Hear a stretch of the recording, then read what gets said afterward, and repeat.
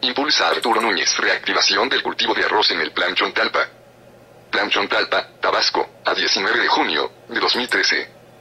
El gobernador Arturo Núñez Jiménez dio un nuevo impulso a la primera línea de acción en su estrategia de desarrollo para reposicionar a Tabasco, recuperar el campo con el rescate de la producción arrocera del Plan Chontalpa, que este año tiene como meta la siembra de 2.500 hectáreas en los municipios de Cárdenas y Huimanguillo. No es con planes burocráticos o de gabinete como vamos a sacar adelante a nuestro campo, sino con iniciativas de productores y empresarios, aseguró en el poblado C32, Huimanguillo, donde firmó, como testigo de honor, los convenios de asociación, en participación y comercialización del arroz entre productores de agroindustria arrocera de la Chontalpa General Lázaro Cárdenas y el Consejo Mexicano del Arroz.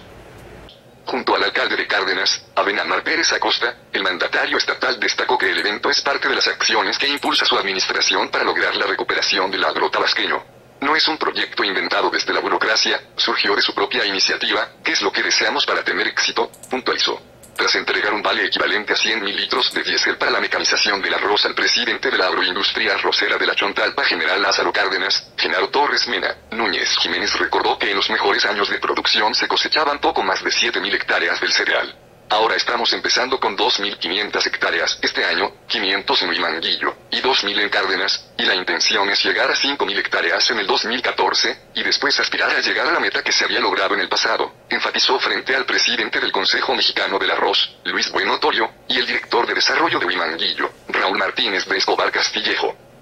Poblado C21 del municipio de Cárdenas, Arturo Núñez dio el banderazo de salida a la maquinaria para reactivar el proyecto arrocero del Plan Chontalpa, donde se pretende sembrar 80 kilos de semilla por hectárea, y alcanzar una producción de poco más de 3,5 toneladas por hectárea. En este poblado se sembrarán 10 de las 2.500 hectáreas.